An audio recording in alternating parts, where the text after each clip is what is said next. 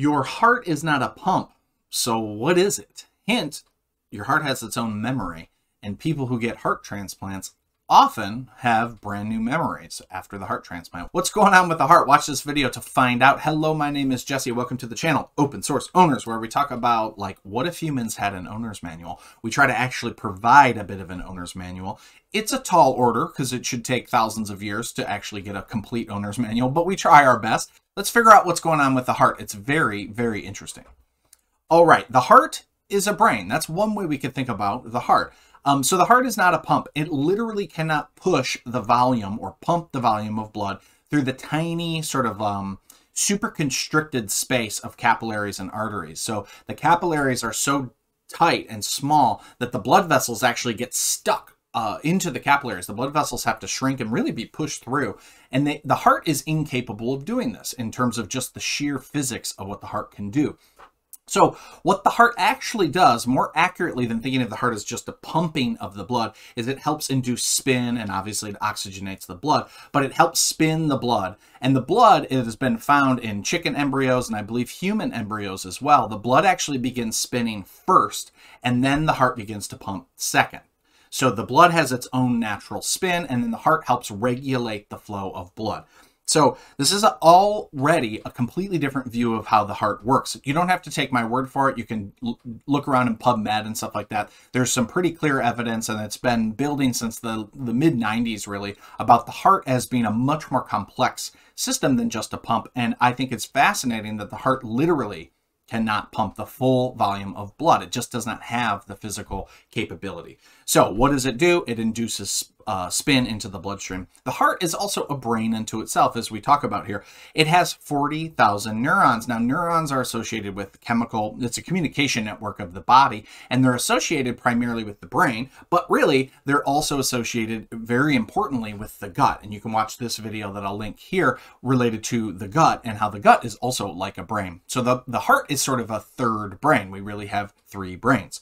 Both the heart and the gut sense the inner world and let the brain know what's up. So actually, if we had to pick a hierarchical order of what's more important, right now I'm going to say that the heart and the gut are more important because they're feeding information about the world, whether it's safe, whether the brain needs to do something to the brain, and then the brain uh, moves down in a hierarchical manner and it sort of sends out like, okay, here's what I think we should do.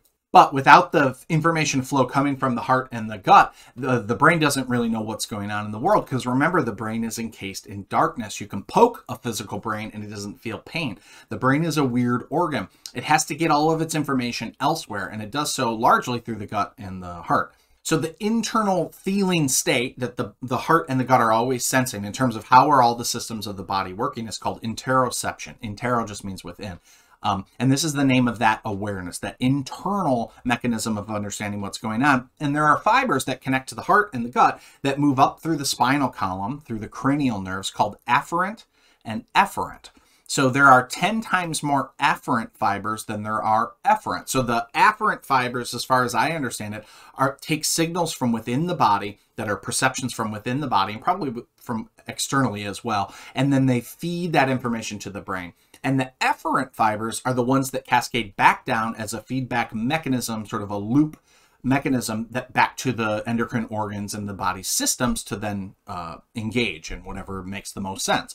So afferent is information from the body up to the brain, and, and efferent are is brain information down to the body, okay? Afferent and efferent. I know it's confusing. You have this slide. You can always try to just like, if you need to remember it, you can write it down or you can just use this slide.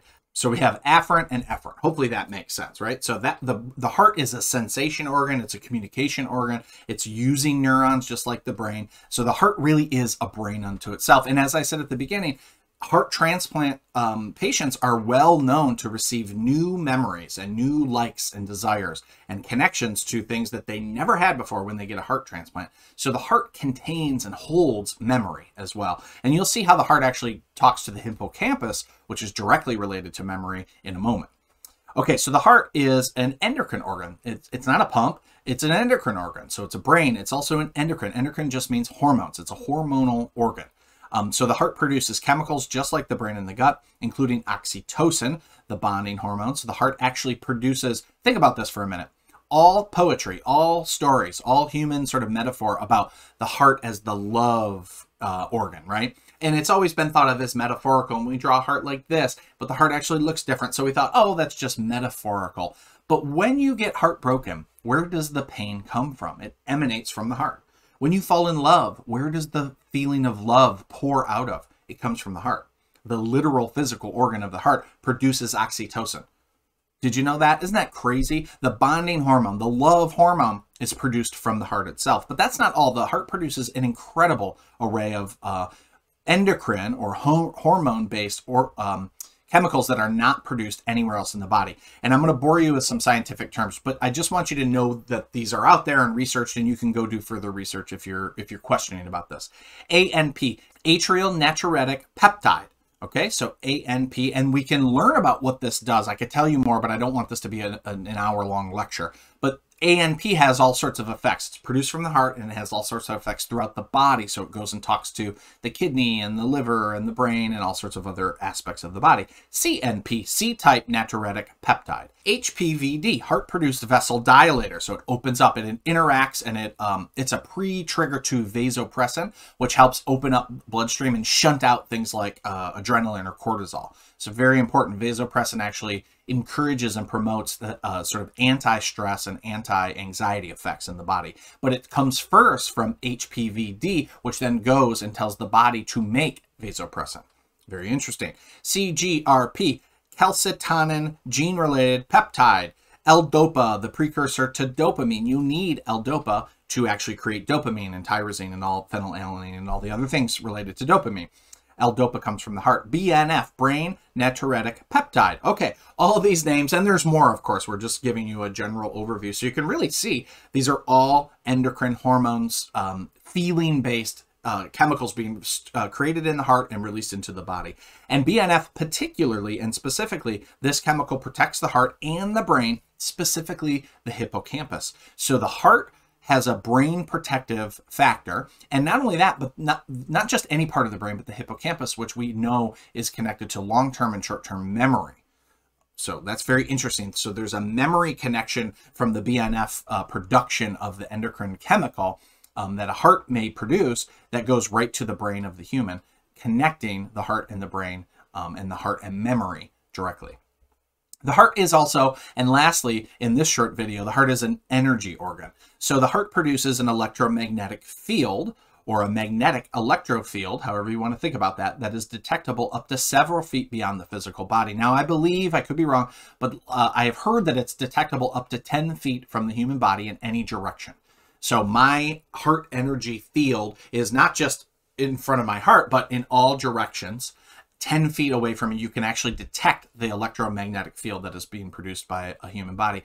And it's not that it stops at 10 feet, or if you want to say, oh, oh, it only goes out four feet, fine. It doesn't stop at four feet. That energy moves throughout the entire universe. Um, but it, what it means is we don't have the detectable, um, we don't have the detection devices that can really measure it um, beyond 10 feet or 4 feet or 2 feet or whatever you whatever you're comfortable with.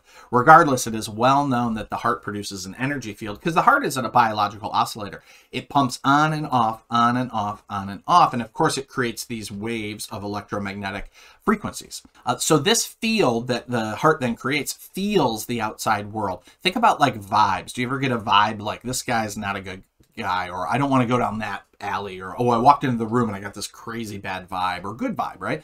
Or think about auras, like this person has a really, you know, kind aura. And some people actually see auras, but now we can actually connect it to a, a physical mechanism that the heart is a biological oscillator that produces standing waves that are interacting with the external world uh, in the electromagnetic spectrum, right? This field this electromagnetic field sends and receives information in a moment by moment matter in a level of sophistication that is beyond comprehension, truly, truly beyond comprehension, because it's sending and receiving information from everything from the smallest microbe to the gravitational effects of planetary bodies on the earth and on human beings and everything in between. It's an unbelievable sophisticated sense organ or energy organ.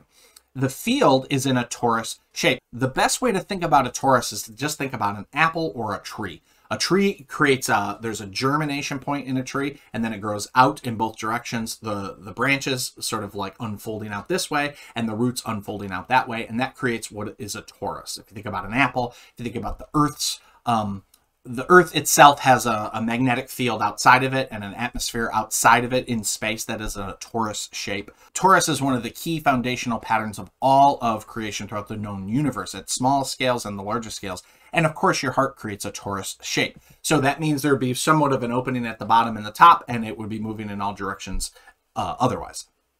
Now, heart rate variability is the way that we can measure sort of how the heart is interacting in a beat by beat, moment by moment basis, how it's interacting with the rest of the health systems of the body. And if we had to pick one thing, one way to sort of determine and um, one way to measure whether somebody is in a biophysiological chemical healthy state or a biophysiological chemical unhealthy state, it would probably be the single metric of heart rate variability. So if you can learn to measure your heart rate variability, and there are devices for this, um, but also track it and learn what improves your heart rate variability, that single metric to optimize would improve all other metrics downstream. Uh, heart rate variability is kind of the highest place in the landscape. Um, so it's the easiest way to measure our heart health is through heart rate variability, but also I would say our general health and our general resilience and our general levels of stress. Heart rate variability is the variation between each heartbeat and can indicate our general stress level. So beat by beat by beat, you have what's called a heart rate variability, which changes between beats. Um, and it's the relationship between your heart and the rest of your nervous system. That's pretty fascinating. I hope you liked that video. I find the heart to be absolutely fascinating. If you haven't, please download the free uh, ebook that I wrote called The Owner's Manual Part 2 that has all this information and a ton more information just about being a human, right? It's kind of the owner's manual, at least a very small part of it. So get that. It's free. It'll come right to your email. That was Your Heart is Not a Pump. So what is it? And now you know.